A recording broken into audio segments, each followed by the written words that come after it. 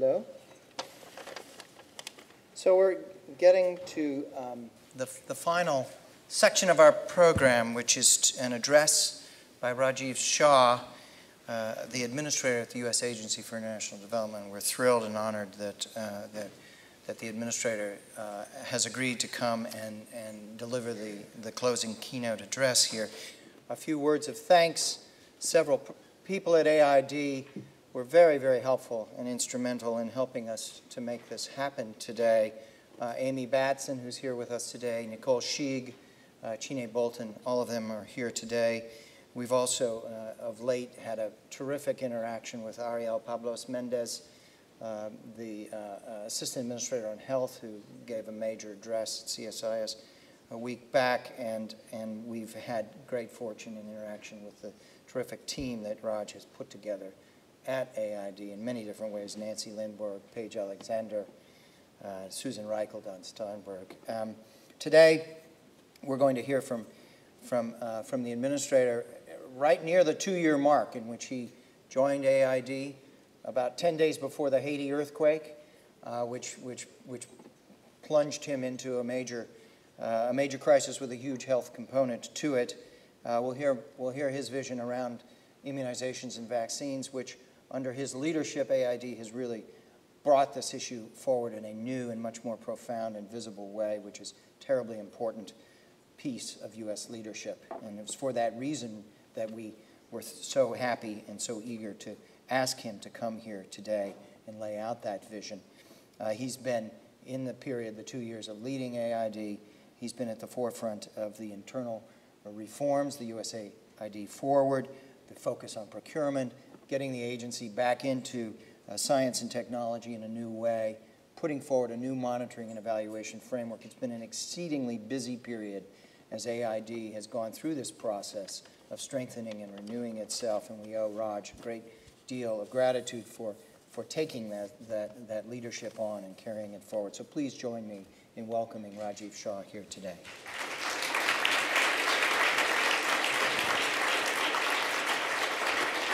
Thank you. Thank you, Stephen. Good. Good afternoon, and uh, thank you for that kind introduction, Stephen. I'm excited to be here and want to congratulate CSIS on the incredible work that you've done to raise visibility for global health, for vaccination, and not just amongst the community of us that uh, believe in and have believed in, have worked in global health, but in a much broader community of leaders uh, who think about our safety, our security, our prosperity, what drives that around the world, and why health, vaccination, and basic progress against the milestones of human dignity are critical to that. So I'm very pleased to be here with you and, and, uh, and with everybody here today. I want to thank Admiral Fallon in particular for your strong leadership and for being a visible symbol of, uh, of how this has become a national security issue and a critical part of how we present ourselves around the world. And I enjoyed catching the final words of the panel with, uh, with Dr. Kochi and, and Eric and so many good friends and colleagues. I know you've heard a lot today about vaccines and immunizations, so I am not sure I'm going to have a lot new to add. Uh, but I am very excited that we at USAID, under uh, Ariel Pablos Mendez and Amy Batson's uh, great leadership, are reinvigorating our own commitment to vaccines and immunization. And I thought it would help to start uh, by describing a little bit of the history of what brought us here. You know, in 1862, uh, this is a photograph of a Confederate hospital in Richmond, admitted 250 soldiers with smallpox. Almost 45% uh, would die, uh, 110 would die per week. And uh, by the end of World War II, of course, smallpox inside the United States had been almost eradicated. But even in the early 1950s, 150 years after the introduction of a vaccine, an estimated 50 million cases of smallpox occurred in the world each year. This is a photograph of smallpox vaccination in Ethiopia.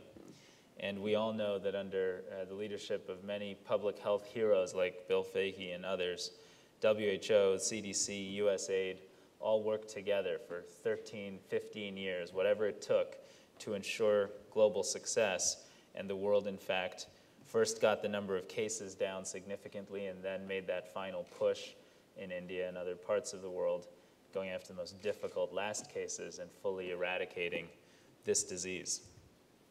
It's worth noting there have only been two diseases eradicated in human history. The second one was eradicated in the Horn of Africa over the past 18 months through a large scale livestock vaccination campaign, and that was called Rinderpest.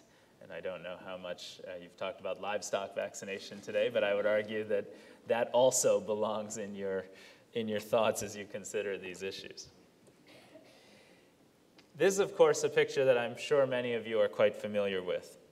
Treatment for polio in the 1940s and 50s occupied entire wings of hospitals, and as patients struggled inside of these cumbersome and mostly ineffective iron lungs.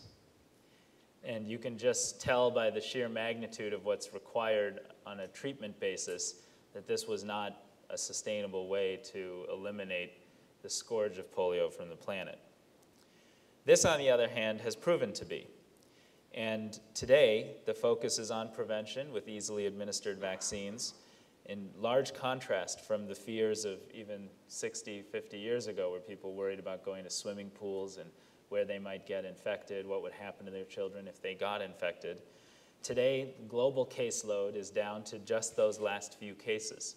Year on year, those cases go down or go up, but it, in the grand scheme of history here, we're on we're uh, well beyond third base and, and almost at, at home plate.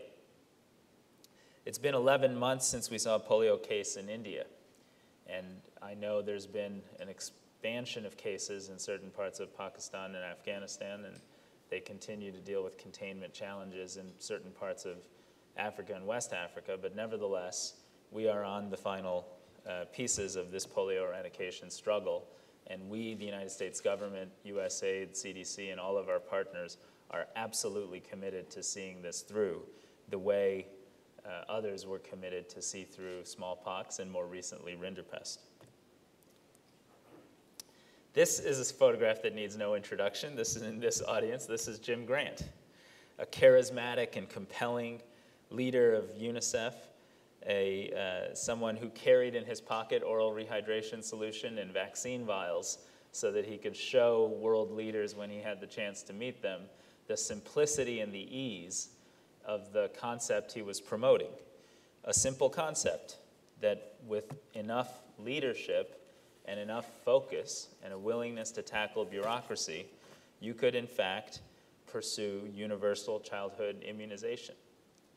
And we saw rates of coverage globally under his leadership increase significantly as a result of that energy and that leadership.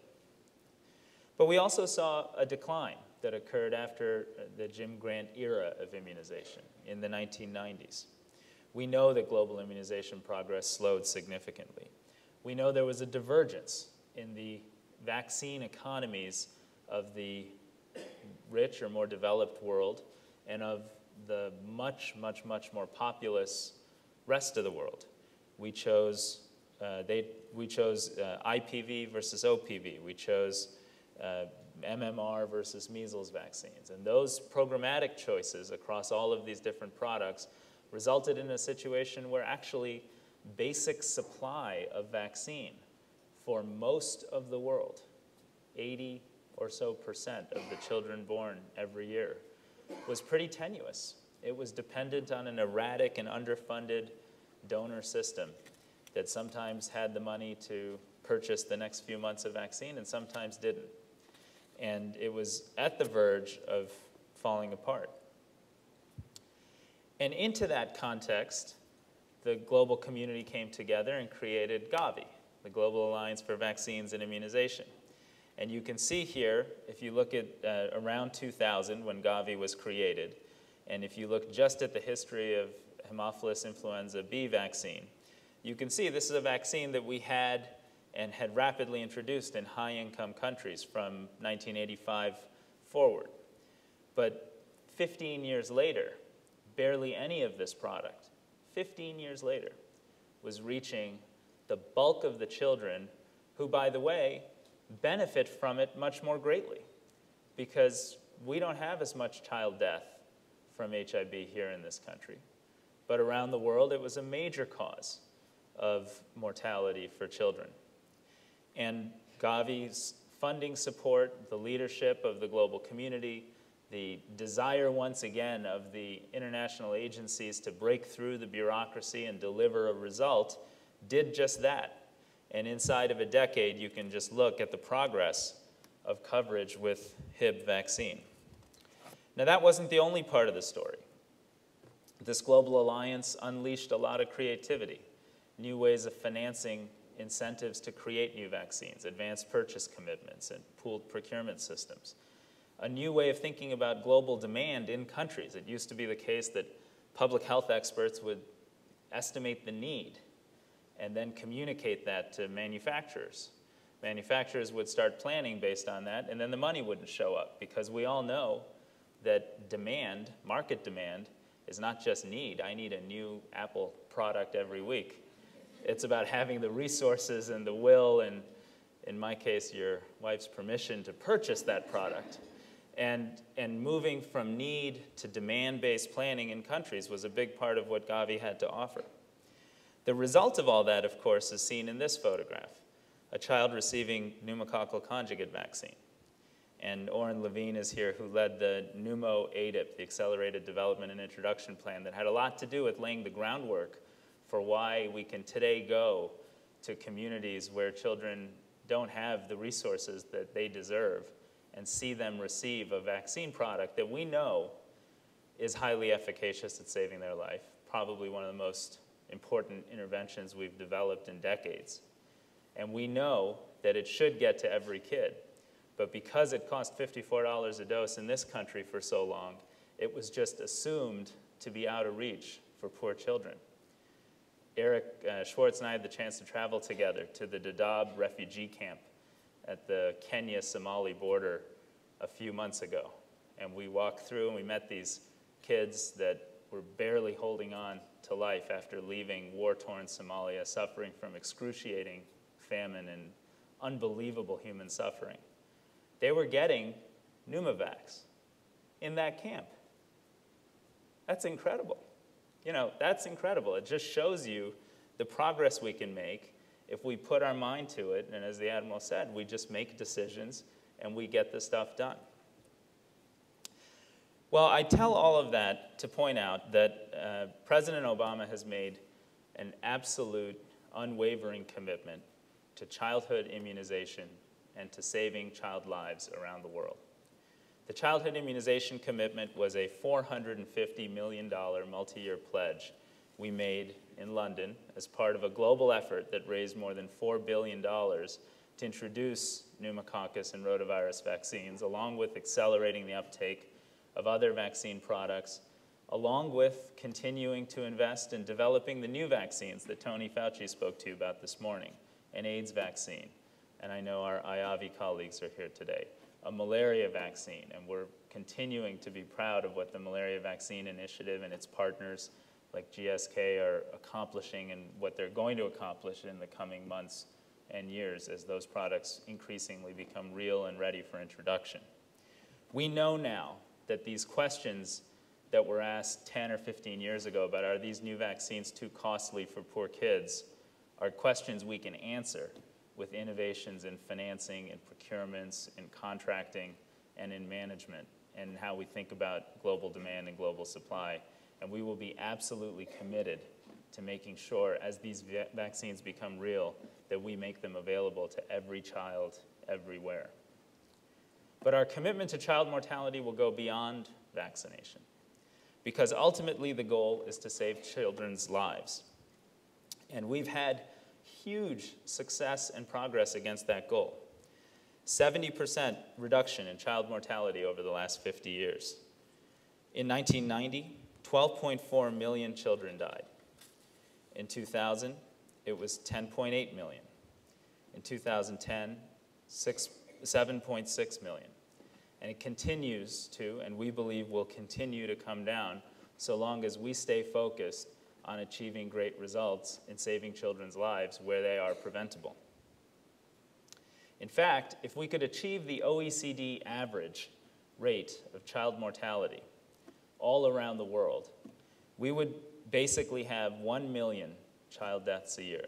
We would be saving 6.5 million additional children's lives every year, everywhere.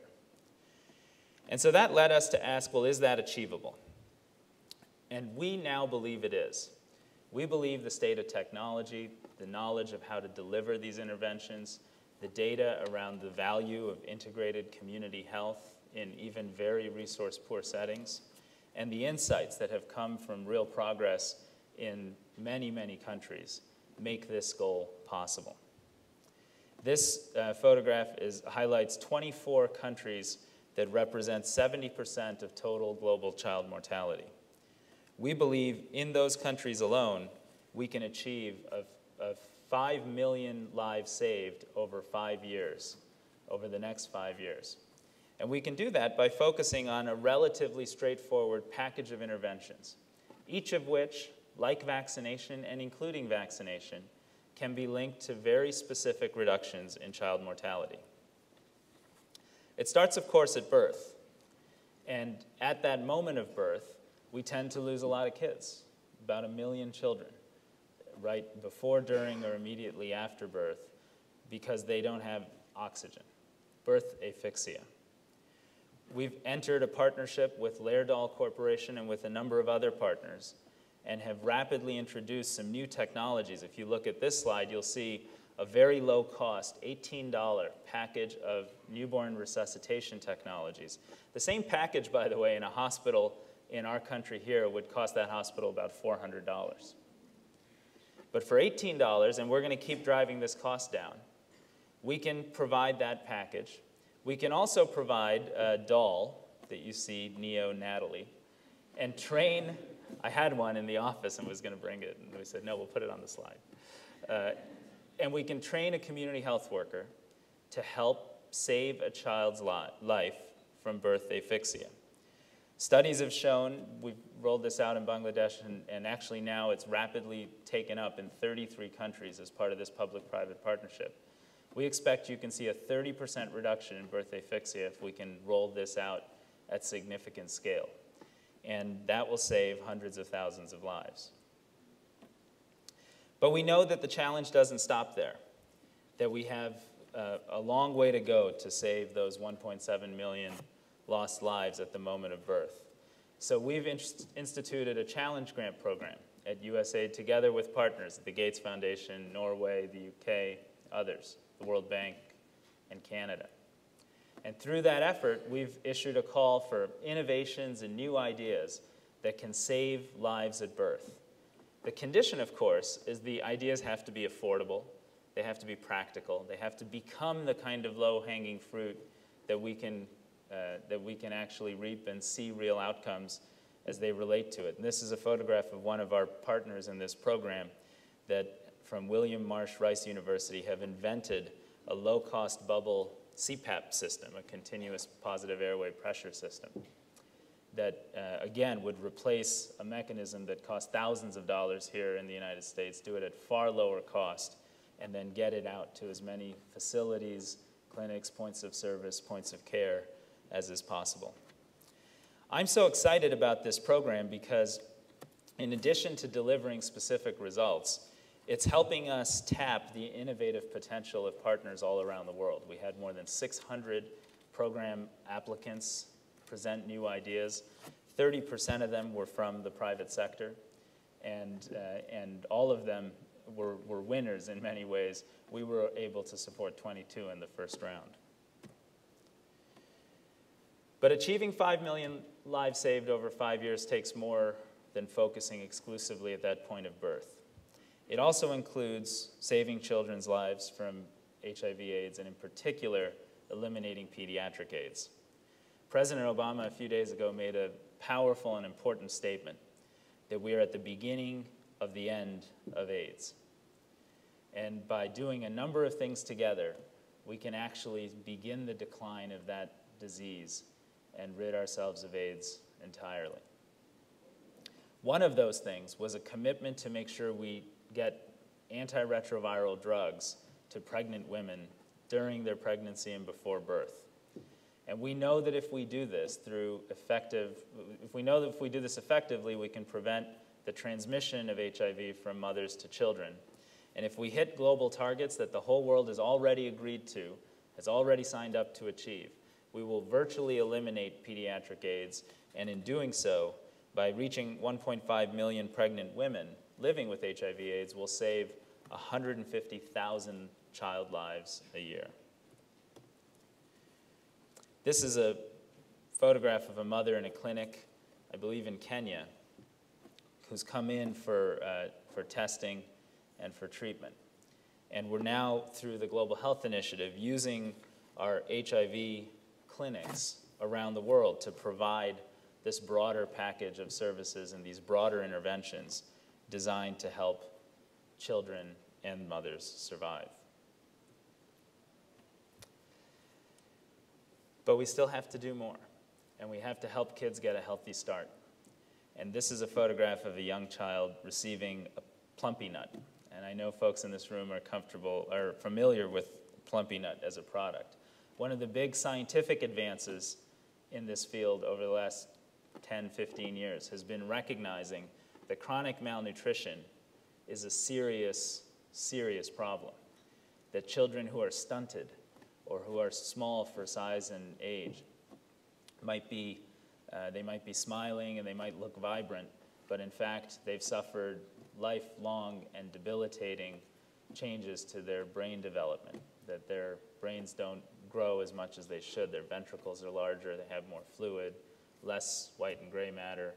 That then leads to lower educational attainment and ultimately lower contributions to economic growth and for their societies. One of the solutions to that is to target feeding in the first, in the, in the nine months of pregnancy and the first two years of life, those critical thousand days. And to target those thousand days specifically with high protein, high micronutrient foods that can rapidly improve their nutritional status and enable them to have to avoid chronic malnutrition at that very crucial period of growth. By refocusing our programs in nutrition in that area, we're working in 15 countries where child malnutrition poses the highest risk, and we believe this investment will help reduce chronic malnutrition by 30%. Another easy win, to put it bluntly, is malaria prevention. Perhaps the easiest win we have in the entire suite of tools that we deploy to save children's lives around the world. We've seen in the President's Malaria Initiative data coming out of more than 15 countries where we've scaled up our investment to provide insecticide-treated bed nets for children to sleep under, to make sure that when kids get malaria and get the symptoms, that they have access to therapies that can actually work to save their lives, ACTs, as opposed to older, less effective alternatives. And to conduct prevention activities, education, indoor residual spraying, a basic package of things that can be done easily that have, in so many parts of the world, including the great American South, helped virtually eliminate malaria. in our country, eliminated malaria. I was thrilled to learn when I visited CDC that the reason CDC is in Atlanta is because it was part of our final push against malaria in this country. And that's where the burden of disease was. Well, today the burden of disease is in sub-Saharan Africa. And a few years ago, we noted that a million children under the age of five every year died of malaria. Today, that number is still too high. It's over 700,000. But we know with real validity, because we've had rigorous studies, that providing this basic package of interventions, country after country at scale, can reduce all-cause child mortality between 20 and 30 percent. We saw it in Tanzania, we saw it in Zambia, in Rwanda, in Senegal, country after country. And when I meet the leaders of these countries, President Kikwete, first thing he says, thank you for your partnership in malaria because I can go to our hospitals and they have room for patients for other things. I can go to our communities in rural parts of the country and children are surviving and it makes a difference and they value the leadership we've provided. In fact, a friend of mine, Dan Glickman, says he was in rural Tanzania recently, and he said he went into a village and talked to a gentleman there, a tribal elder. The elder came up and said, I have three favorite people in the whole world. He said, Oh, who are they? And he said, President Clinton, President Bush, President Obama. And Dan came back, called me, and said, Raj, there isn't, I don't know if there's anyone in this country who would say those are their three favorite people. But this makes a difference. People value when they get those vaccines, when they get these improved nutrition products, when they sleep under bed nets, when you save children's lives. People value that partnership. And that brings me to my conclusion that we know that this is the right thing to do. But we also know this is the smart thing to do. That when we save lives around the world, we're helping to usher in a different structure of population growth for economies that need to go through a demographic dividend in order to experience economic growth and development. We've seen that fewer births, that we've seen that as child mortality improves, families have fewer births.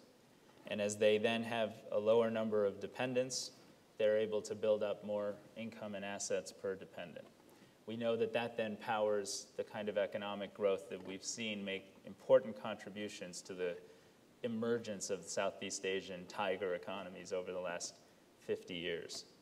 And we know precisely where those countries that we highlighted as high burden countries for child mortality, those are precisely the countries where we now need to see the demographic dividend take hold and the resulting investment in human capital and economic development take place there. And there's a reason why it's important that the growth and the stability of those countries remains in our national interest. Because when we have trading partners, instead of partners where we have to engage with our military, we are better off. We know that today in southern Sudan, a young girl is more likely to die in childbirth than she is to complete a secondary education. In precisely an environment where we're engaged to uh, slow the spread or reverse the spread of Islamic extremism, in precisely the environment where we know that droughts and other or more erratic weather conditions create instability, migration, tremendous suffering, and where governments are increasingly democratic but are trying to move in that direction but need continued encouragement to get there successfully. We know in precisely those environments, making these investments now will be one of the keys that unlocks a future of stability and change. And in fact, I was in South Korea just uh, last week where the global development community came together 2,500 people from around the world. In a country where in the 1960s they had a lower per capita income than their counterparts in East Africa. And they had a lower per capita food consumption, a higher child malnutrition rate, a higher child death rate, a child mortality under five rate. Today, South Korea is a donor country themselves. We have more jobs in the United States trading with South Korea than we do trading with France. And that number is going to go up because of the president's free trade agreement.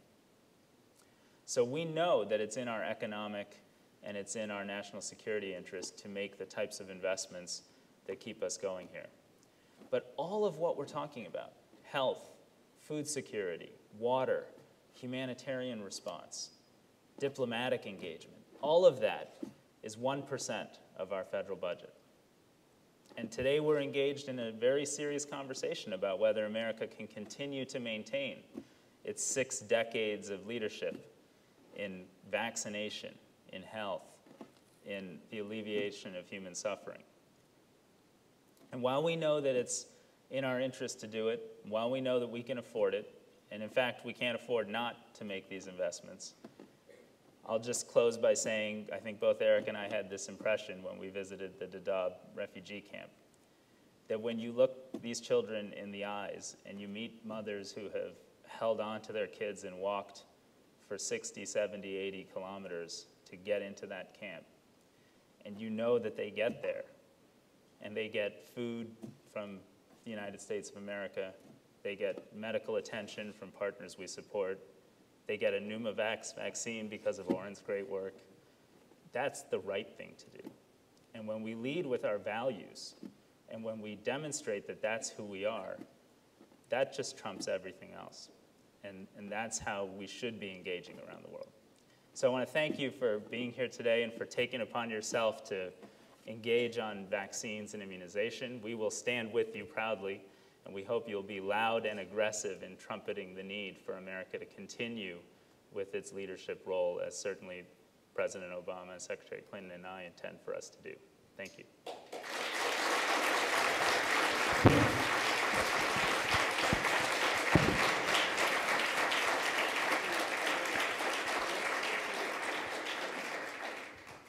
Thank you so much. Um, Administrator Shah has, has some time to share now for a further conversation. I'm going to ask you just one question, and then, I, and then I'd like to open it up to comments and questions from our audience.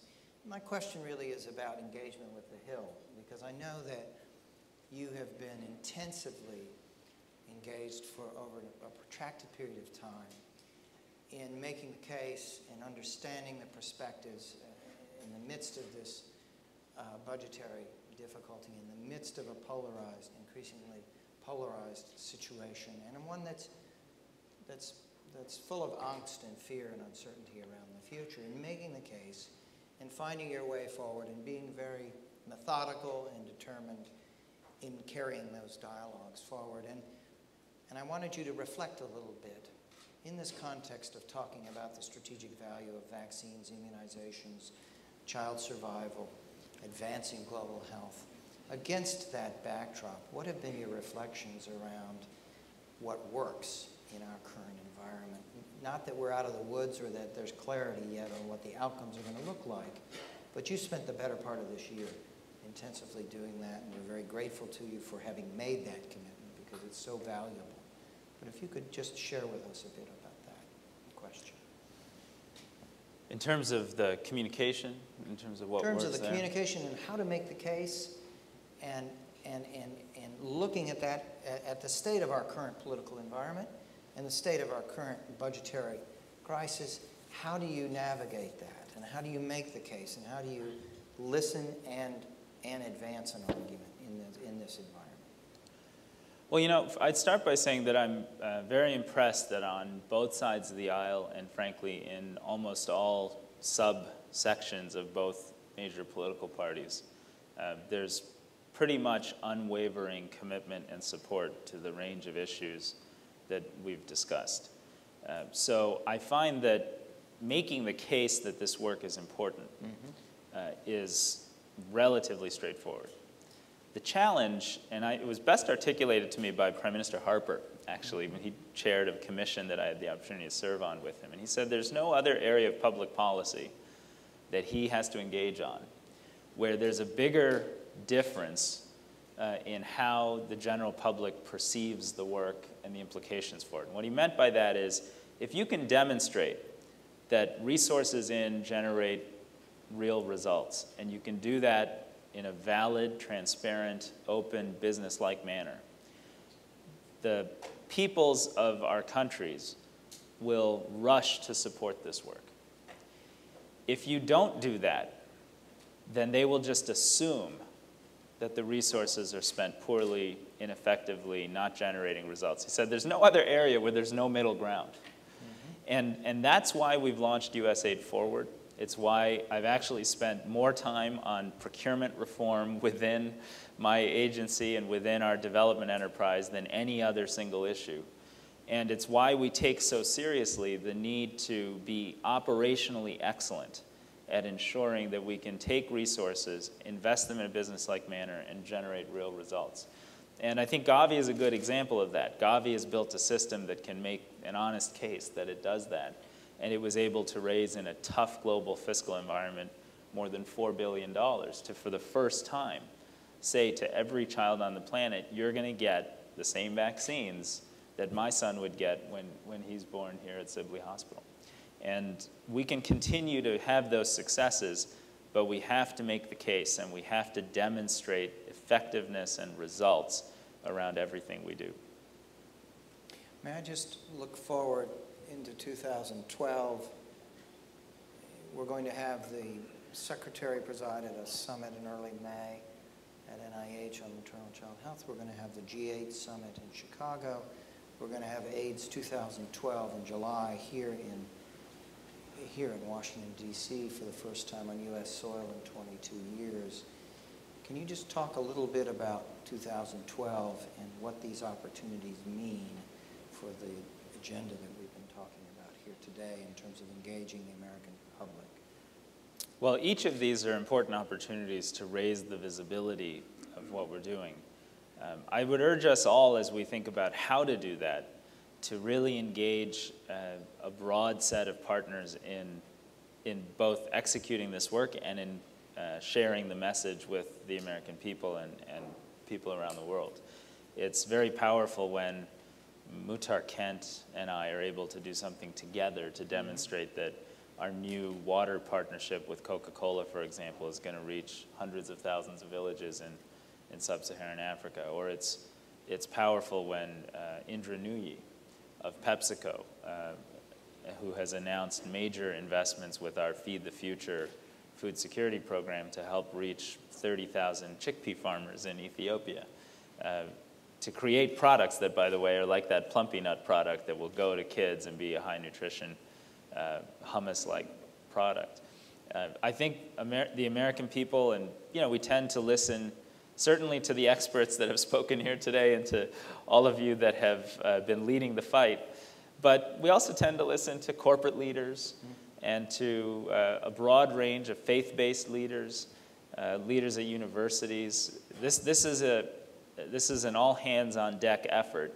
I think we have to do a better job of diversifying the voices we rely on to, to share the message. Thank you. I want to welcome comments and questions from our audience, just please put your hand up and we'll bring, bring a microphone to you. There's a hand right there, and there's one right here, Amanda. We'll cluster these comments and questions together and then come back to you, Roger, in a moment. Yes, sir. Yeah. Uh, thank you very much, Dr. Shah, and thank you, Steve, as well. Uh, my name is Steve Kuo. I'm uh, the senior advisor of uh, Taiwan representative office here in Washington, D.C. And I know Dr. Shah just uh, visited Taiwan just last week as part of uh, your trip to Asia and a country like South Korea. My question is, um, is that could you comment or share with us a little bit about your view about the policy and the mechanism that you wish the USAID can use to sort of encourage uh, countries like Taiwan, South Korea, uh, those, uh, you know, in the past is the recipients of USAID and now is kind of uh, uh, is very much willing to uh, feedback to the global communities, but not really know how to do that. And uh, is there any policy or mechanism you think that will be kind of useful and how to kind of encourage those uh, countries to uh, partnership with uh, USID and to do that kind of thing? Thank you. Thank you. Amanda, do you have a, there's a microphone right behind you. Are there other hands up?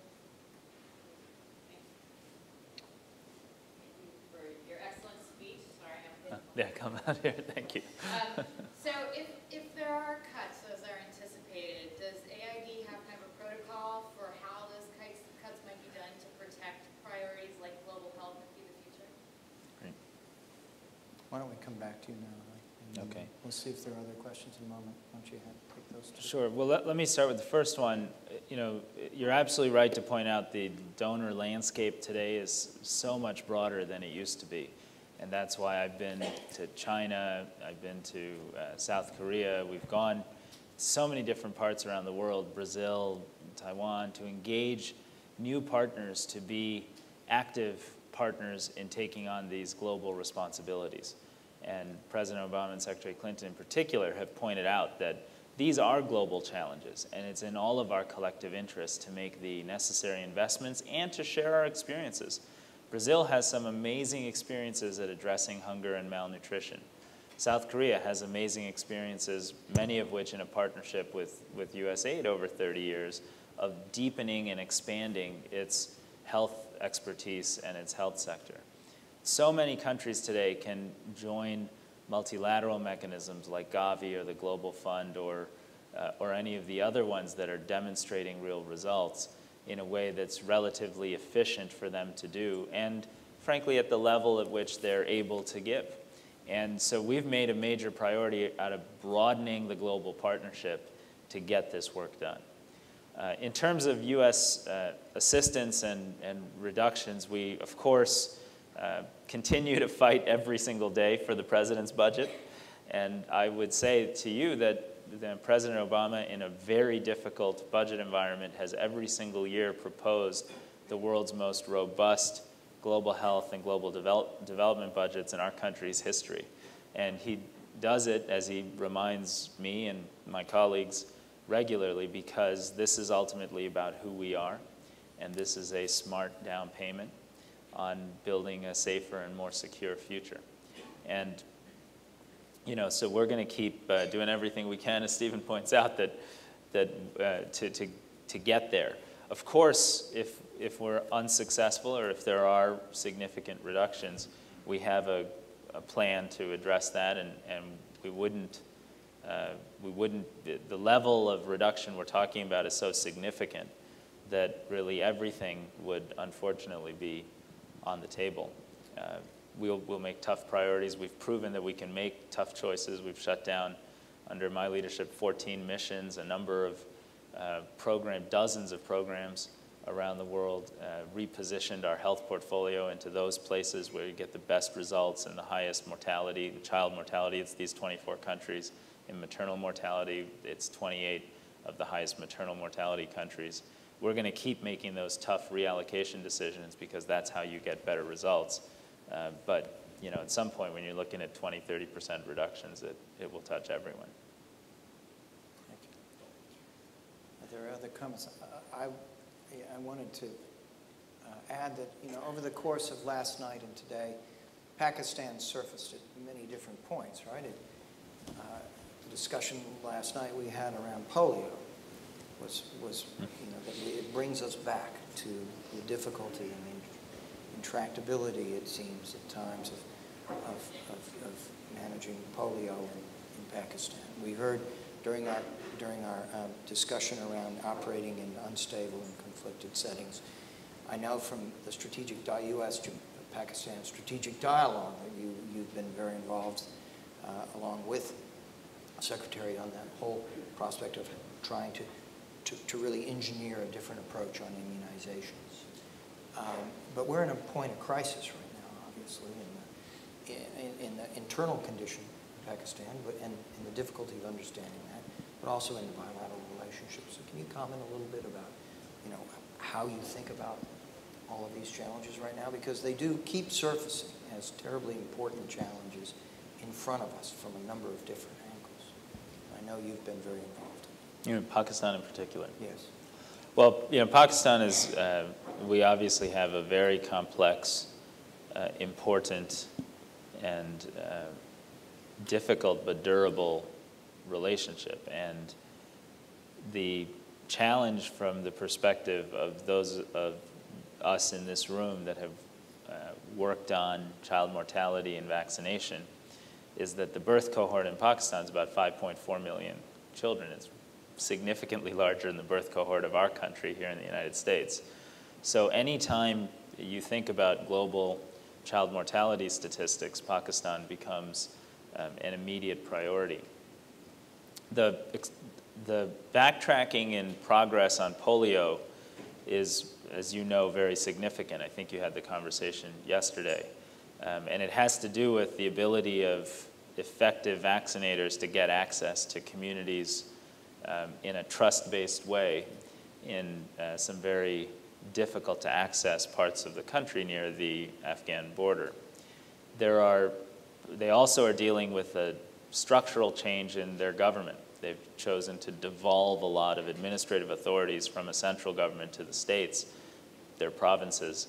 That's the right thing for them to do over time because it is part of their larger uh, constitution and politics and, and trend towards uh, democratic governance and accountable local governance. But health uh, that's more challenging in health because they had a very technically capable uh, central ministry of health with some very capable partners. And, uh, and so the state, the prov- provincial departments of health have more variability in their capacity to take these programs forward. And we're working through that programmatically in a number of different areas. The, we've supported 18,000 lady health workers that have had a huge impact at reducing maternal mortality, improving birth spacing, uh, helping to reduce the total fertility rate. Uh, but all of these things are, are going to go through this difficult transition. Well, I think we've gotten, we one more hand, Peg, back. Thank you. Peg Willingham with United Nations Foundation. Dr. Shah, I wanted to ask you about HPV vaccines. It's something where my understanding is health ministers in developing countries regard that as a high priority. I know you know it's a leading cause of cancer death, and yet here in, in the political environment in Washington, advocates sort of quake at the idea of talking about HPV, and I wonder how you bridge and set, send the message that this is what countries want and need versus very different political considerations here. Thank you. Sure. Well, eh, thanks for the question. In the global system, especially through Gavi, the countries have the ability to construct their own priorities, to set uh, market demand, as I used the term earlier, based on their kind of actual plans. The introduction of HPV, of course, is very different than the introduction of a basic childhood vaccination, so they need a public health and a health system delivery strategy that can support their aspiration to use that product if they have that aspiration. And my, uh, I was pleased that Gavi has begun a very serious process to help countries with the planning and the demand uh, development and then supporting the distribution uh, on a, in an appropriate way as they do that. So there are a lot of questions that have to be asked because it's not, it's not going to be delivered through a traditional childhood immunization system. So you can't just say, okay, we cover 70% of the kids, and so here's how much we need, and we're ready to roll. Um, it has to be done thoughtfully, methodologically, and ultimately, countries themselves taking into consideration data and uh, what's best for their populations need to be the ones accountable for making the decisions. I think we've reached the conclusion of our program, Raj. And please um, join me in thanking the administrator for Thank being you. with us. It's great to have you. Thank you very much. Thank you. Great to see Thank you. you. Have a nice holiday, too. You too. You too.